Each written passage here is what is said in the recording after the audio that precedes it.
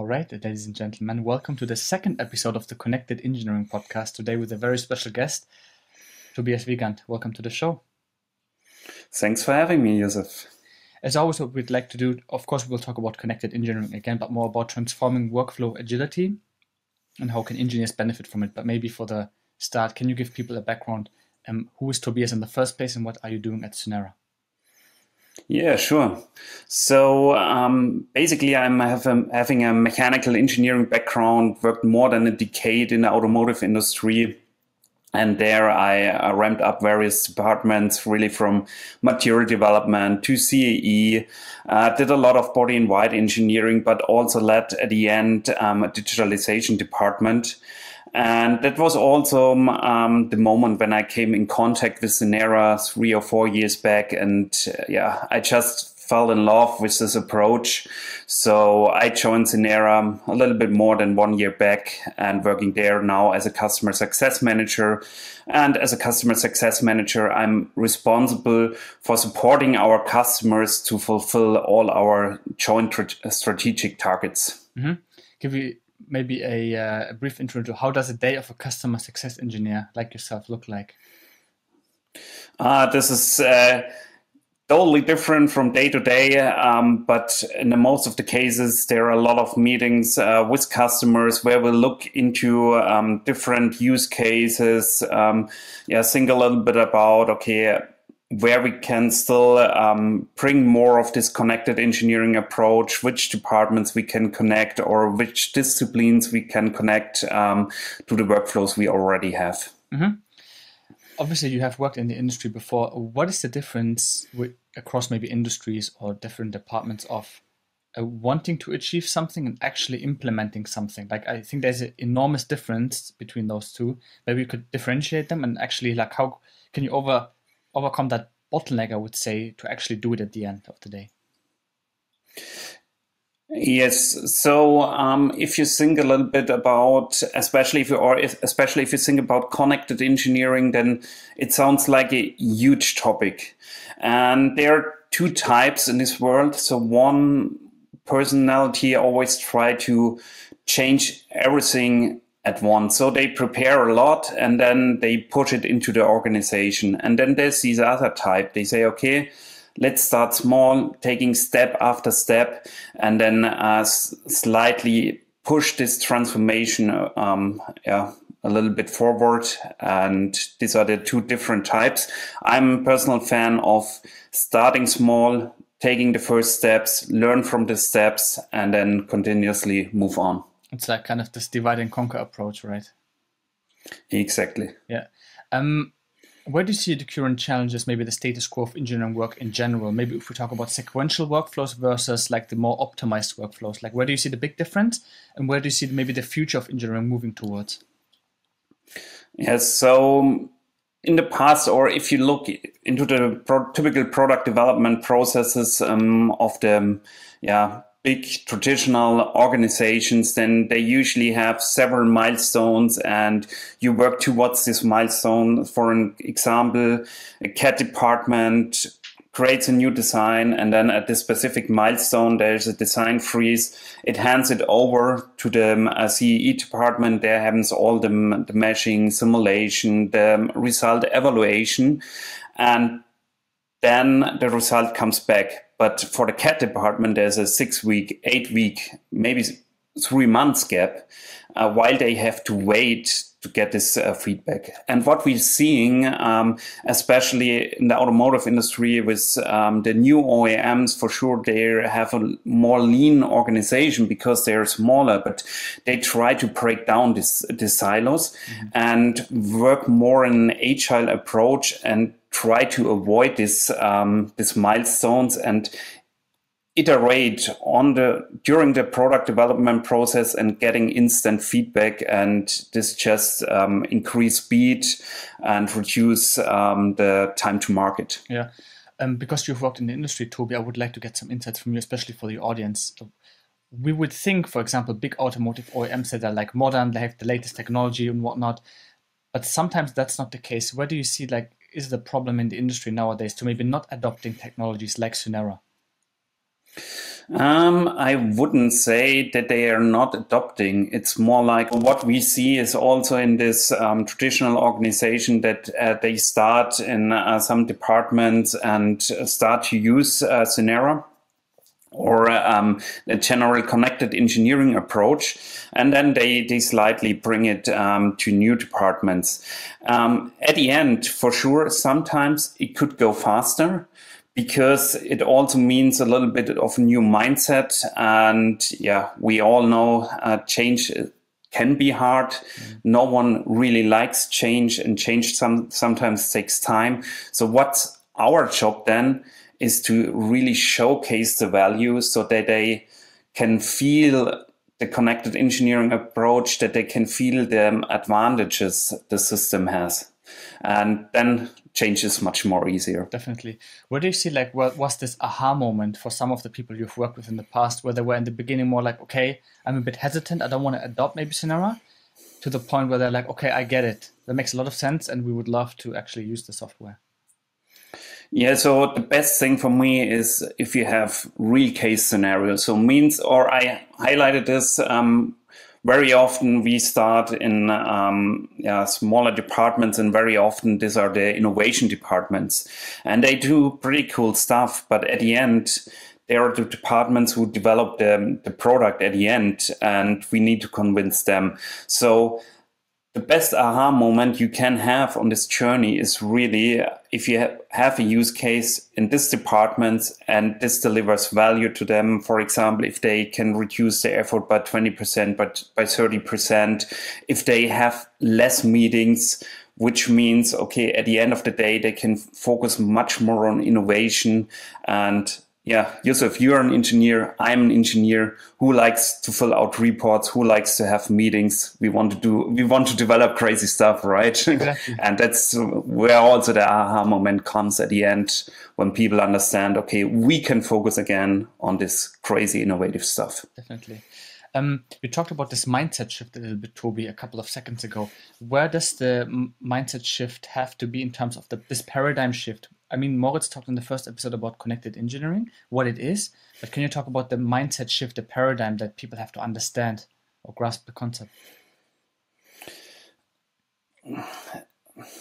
Yeah, this this question is not not that easy to answer. So, mindset shift, it always comes from experience something, and I already mentioned this a little bit so you need to be open for sure. This is the entry ticket.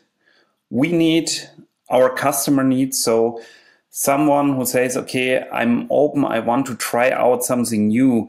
But at the end, the mindset shift, it just can happen with success stories within your organization. That means you have to find exactly these use cases where the connected approach has the maximum impact and with that, the trust comes into the organization. And with that, it's much easier to find more open-minded uh, people or break down um, this restrictions, this fear of trying out something new. Yeah, could you give us some examples of projects that you have been working on? Of course, not top secret projects, but where we talk about specific. We talked about these aha moments, you know, like uh, faster development cycles, agility mm. itself, etc. Maybe some examples from your end. Yeah, I, I have two, I would say I would like to mention, and I would start with one uh, which fits a little bit to what I told uh, before. So it's really the connection between CAD and CAE. So there was one of our customers and an engineering service provider, they won a project. A project at a new customer. So, and if you know the industry for sure, there's a lot of things you have to fulfill till you win the project, but at the end, very often money decides. So, um, they had not much budget to deliver this project and the department lead struggled a little bit and then asked the digitalization department for help and what they did they implement, implemented exactly this automated CAE workflow so where now the CAD engineer just needs to press a button and gets a result um, out of his uh, design. And with that, they could do much more iterations um, in the same um, period of time. The CAD engineer got, received immediate feedback on his design and yeah, so he could make much better decision. And at the end, what was the result out of it? They saved 30% of the uh, time what I usually need for developing this um, in the CAD department. It was not because the CAD engineer has less work. The utilization of the CAD engineer was much higher. That was where the CAD saving came from. They saved 25% in the CAE department. And what was pretty interesting that also the project management saved a lot of time. So 10%, 15% because he had less to coordinate. And at the end, it was a 20% savings um, on the budget, which led to a good uh, margin for the engineering service provider. And this was a really breakthrough um, for our customer because um, afterwards, this department lead uh, went to the next department lead and told this story. And then the, the ball just started rolling. Mm-hmm. Yeah, the key steps involved in actually adopting the technology because there are always little friction points, right? So, how do you convince someone to actually adopt the technology? um, actually transitioning towards this approach? Yeah, so what we are usually doing, um, so in Synera, we are not only selling um, our platform. What we are doing then is supporting the customer. So means um, we have a six week onboarding phase, um, which comes for free. So because we want to really push forward this, uh, this paradigm shift. And in this onboarding phase, we train two, three engineers on the platform, create the first workflows. And at the end of the six week, they can uh, distribute it in the whole department. So um, other um, yeah, employees of the department can use these workflows without understanding how Synera works. Mm-hmm. And then we we are already in the adoption phase and from one department we are going to the next department and at the end we have yeah we brought it to um to a yeah, major um, point where we say, okay, now it makes sense to, to really roll it out in the company. And yeah, but then already the, the mindset shift already happened at this stage. Yeah. I think we should also emphasize that it's really, really nice to see, especially for Synera, that you see quick, quick um, success basically, because for some software vendors, the customers might see success within the next six or 12 months. So the ROI is not really visible at first, but you really see quick successes how you can automate workflows, for example, inside of Synera. Yeah, absolutely. And that's, um, I mentioned at the beginning, okay, it was two or three years on the um, customer side of Synera, and that was exactly what I appreciated. So um, I set up some workflows and I had a return of invest in three months in six months. For sure, this was not a return of invest or I didn't save 1 million euros with a, a simple small workflow, but it helped me to um, organically grow um, with my workflows. Super interesting, Toby. I wanted to go back to maybe the trust building or maybe the, speaking the same language topic, which is if you build a workflow and hand it over to different departments, do people understand what the workflow actually tells me at the end of the day? Um, if you're interested, then yes. So you can open the workflow, and I mean, everybody who did who did programming in the past knows. Okay, if you create a nice code, then there should be comments in it. Yeah. And that's exactly what we do in our workflows or what uh, Synera is capable to do. So you can add comments to your workflow so that everybody can understand what every single step does in uh, your workflow. How do you see the future with connected engineering? Like, how can people profit from this? I mean, yesterday we had a webinar on cost engineering, but we also talked a little bit about the future, like design to cost, AI, all these kind of things. So, where do you see the future of connected engineering, Toby? Yeah, so from my personal point of view, um, I would say it's pretty comparable to what Toyota did some decades ago uh, with lean production. So this connected engineering approach will lead us to more efficient developments, to faster developments. And at the end, um, faster development means reduced time to market and yeah, reduced time to market always means uh, to a better product market fit.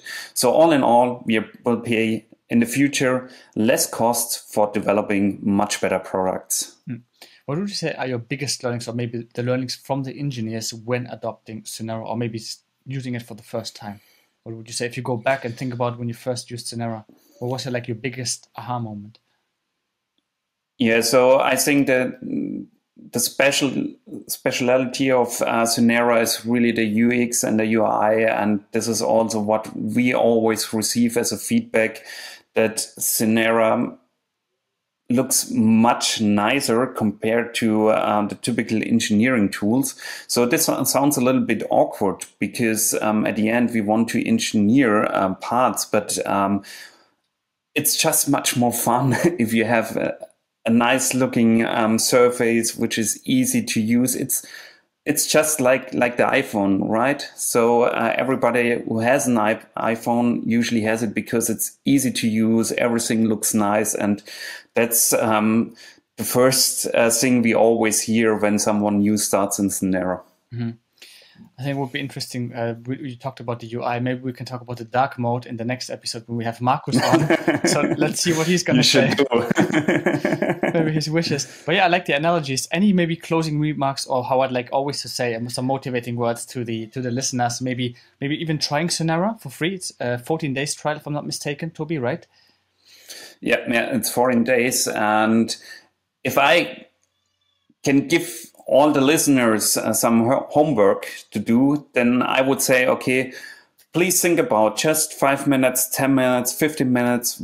Where do you have a lot of iteration between different disciplines? And that's usually where we as Synera can uh, bring a huge impact to. And I'm pretty sure if you have such a use case, um, it's pretty easy to deliver some value, which leads at the end um, to cost savings in your organization. Amazing. With that, Toby, we can already wrap it up. So if you have any questions to Toby, I'll put a link down to his LinkedIn profile in the description, also his email address uh, if you want to contact him. And then uh, really looking forward to talk to Markus in the next episode, hopefully about uh, dark mode and some other interesting insights mm-hmm. about the customer journey. So thank you so much, Toby, and hope to see you in the second part in the future. Thank you, Joseph. I'm pretty sure we will have a second part. Thanks.